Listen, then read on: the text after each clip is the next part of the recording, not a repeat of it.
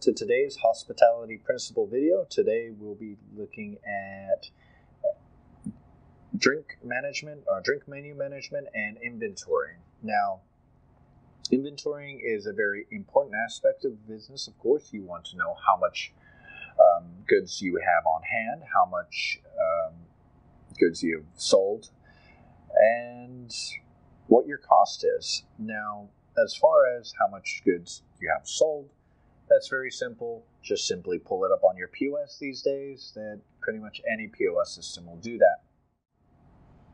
Now, as far as keeping track of food, not food costs, but sorry, but beverage costs, and assigning, you know, prices per glass or per shot, per bottle, your selling price there it can get a little bit more tricky when you play around with those. And I've still found the best way is with a good old Excel file.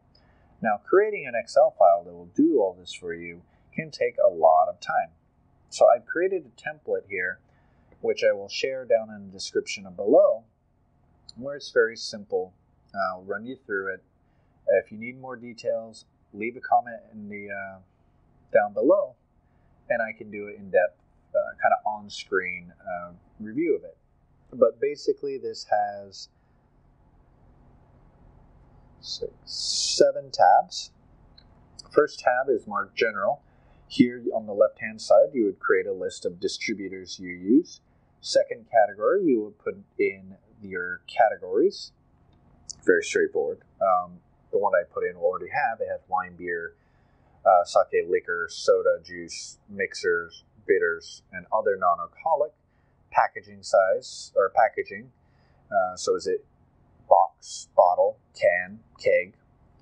Um, there are also a bunch of case sizes 1 through 30, bottle sizes 1.14 up to 750 and then measure type of measure. So that is you're going to look at like okay, 1.4 is that liters or milliliters, ounces, you know, these are going to be some measure types you can put in there. You can add more if you would like, if you have different form measure. Now, these are the most common formats that bottles tend to come in. I don't have anything under sake grade, but these are, you can put in Junmai, Junmai Ginjo, Honjozo, anything like that. Regions, you can put in, it's American, you say it's from California, it's from New York, it's from Ohio, wherever it may be, or Japan, it's from Gunma, it's from Akita, it's from whatever. You get the idea there. Wine color. So as of now, I have red, white, rosé, and orange. You can category for wine grapes. So you can put in your varietals there. You can put in Pinot Noir. You can put Gamay. You can put, you know, any of the wine categories you want in there. Wine country. Put the country of origin France, US, Austria, Australia, wine regions, so you can put in the regions here. And the reason why I'm not doing this on the individual tab and for individual wines is many of these are repetitive. You have, let's say, Pinot Noir. Um, you know, you want to keep the format as consistent as possible. You're putting your Pinot Noir as one word, which is incorrect it's two words, but you know, if you have discrepancies where you don't have that proper spacing in there, you then have difficulty organizing or searching.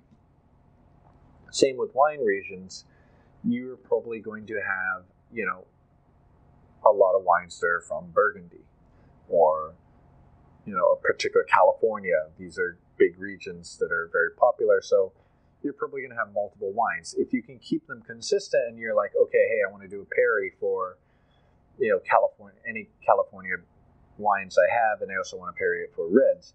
You're able to do that with having these um, consistent here. Yeah, beer regions, beer styles, alcohol type. Um, alcohol type would be for your liquors. You can put in tequila, you can put in gin, anything on them, along those sides.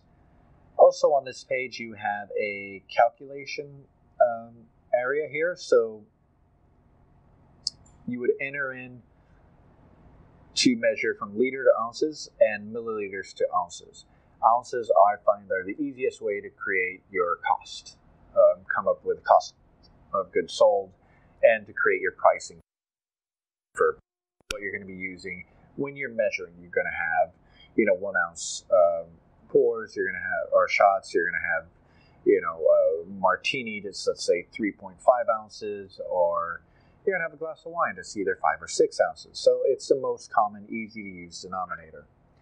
Following, you're going to have um, non-alcoholic. You have that broken down into distributor, category, product name, case size, bottle size, measure, type of measure, bottle size in ounce, case size in ounce, case cost, and then serving per ounce, bottle selling price, serving selling price. So once you've entered that information in, and again, like distributor, if you click on it here, it has a drop down and it's going to show you the distributors. Same with category. Product name, you're going to have to enter. Case size, you do a drop down. Bottle size, you do a drop down. Type of measure, drop down. A lot of these are going to be drop downs, and it's automatically going to populate such things as um, bottle cost, serving cost, how many servings per bottle they are, cost per ounce, and then once you put in the selling price for per bottle and per serving, it will also give you a percentage. So, what is the percentage cost of each product? Now, each tab is relatively similar wine tab, the sake tab, the liquor tab, just a little variance in the information it is kind of asking for. Well, hopefully you find this useful. If you did, make sure to like this video.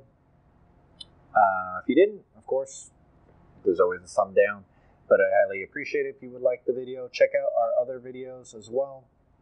Leave a comment down below if you have any special requests, you need any assistance, you want help customizing this here. And again, none of this is um, password locked.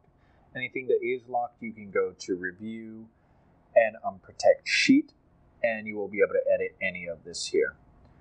Again, thank you for watching, and I'll catch you around.